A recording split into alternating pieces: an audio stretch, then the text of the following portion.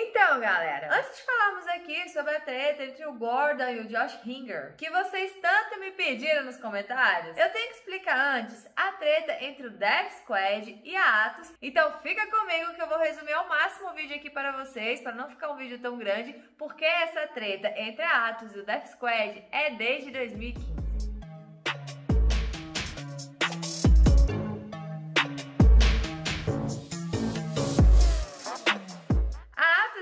Squad vem lutando aí pelo domínio do mundo sem kimono. Já tem vários anos. Isso é desde as seletivas norte-americanas do ADCC de 2015 porque o Mike Pérez derrotou o Gordon Ryan, que na época era faixa roxa, na final de até 88 quilos. Para vocês terem ideia, os meninos nem eram chamados de Death Squad na época. Algumas semanas depois que o Pérez venceu o Ryan, o Gary Tono derrotou o Josh Ringer na final do IBI 3, bem na prorrogação. Passou o quê? Mais de um ano aí sem ter a competição entre a Atos e o DDS. Até que em 2016, no Grappling Industries, o Gordon Ryan lutou contra o Kina Cornelius, que na época era da Atos, antes dele ser expulso. Depois a gente fala sobre isso. Foi uma luta de quase 90 minutos, sub-only, em que o Gordon Ryan finalizou no inside heel hook. Aí, galera, o que, que a gente tem em 2017 e 2019? ADCC. E você já sabe, né? ADCC é sangue no olho. Tanto a Atos quanto o DDS enviaram um monte de atletas para disputa, em busca pela supremacia no sem kimono nos dois últimos torneios. Com esse tanto de atletas enviados, eles se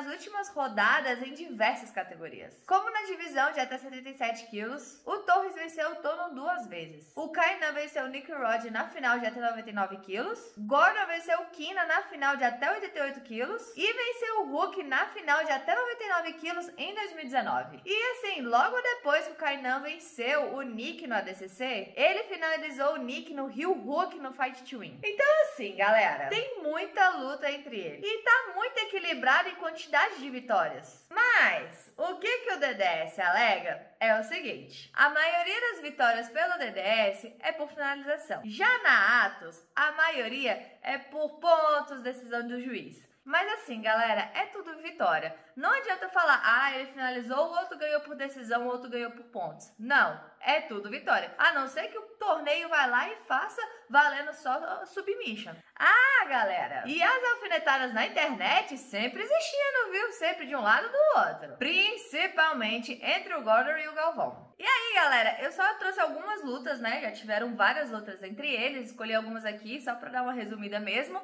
Então, chegamos no dia do tapa na cara. Porque o Ronaldo Júnior da Atos desafiou o Gordon para uma luta em 2020, mas por conta da Covid ele foi obrigado a desistir da luta. Então Ronaldo Júnior foi escalado para lutar dia 26 de fevereiro contra o Craig Jones, no Who's Number One. E acabou que o Gordon Ryan lutou nesse dia contra o Roberto Jimenez porque o Nick Ryan se machucou e ele teve que substituí-lo. E aí esse foi o dia do tapa lá nos bastidores, que todo mundo já sabe, que o André empurrou ele, não quis cumprimentar, ele deu os dois tapas na cara do André, enfim, todo mundo sabe, né? Então, assim, deu pra vocês entenderem essa treta entre a Atos e o DDS? É desde 2015 são várias pessoas tretando. Claro que os cabeças são o Gordon e o Galvão, mas a treta é entre as equipes. E o Gordon fez uma declaração na internet falando sobre cada um deles. Então, só para simplificar para vocês, eu vou falar aqui resumidamente o que ele falou de cada um. Ele falou que a Atos e o líder, né, que é o Galvão, são hipócritas e canalhas. E ele falou que a primeira conversa, né?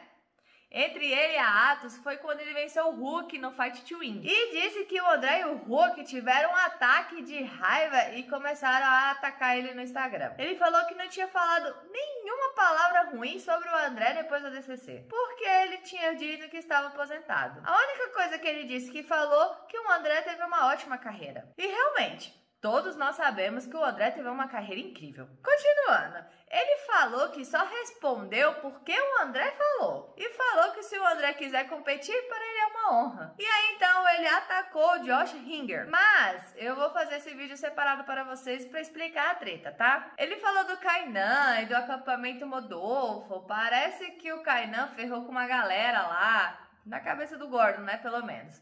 Pelo que eu vi, não é muito bem assim não. Mas se vocês quiserem, eu faço um vídeo aqui explicando sobre isso. falou que o Hulk toda semana fala da mulher dele, a Nath, fala que vai pegar ela, coisas assim. E falou exatamente essas palavras. Lembre-se que nunca mencionei sobre a esposa e os filhos de André. Não que eu me oponha a isso, porque eu absolutamente o faria, mas eu e o André sempre fomos muito respeitosos com a família. Só que o resto da Atos não. Aí ele falou sobre o Kira Cornelius ter sido expulso da Atos, que esse também vou deixar pro vídeo do Josh, que vai fazer mais sentido na história deles. E por último, Ronaldo Júnior, disse que ele era um dos únicos caras que estava lá com o André no dia do tapa, só que estava lá muito ocupado chorando no canto e que nem estava lá para apoiar ele naquela situação, que se fosse o Gary, a equipe estaria lá por ele. É, galera, me dizem aí vocês, são Tinhatos ou Team Death Squad? Vamos lembrar que por muitos anos a Atos vem sendo uma referência nas competições. E que parte dessa fama do Death Squad se deve por essa rixa contra Atos. E será que essa não é só mais uma jogada de marketing deles? E aí, me diz aqui o que vocês pensam sobre isso. Não se esqueça de se inscrever no canal, curtir, comentar, compartilhar. Tamo junto. Tchau, obrigado, tudo de bom.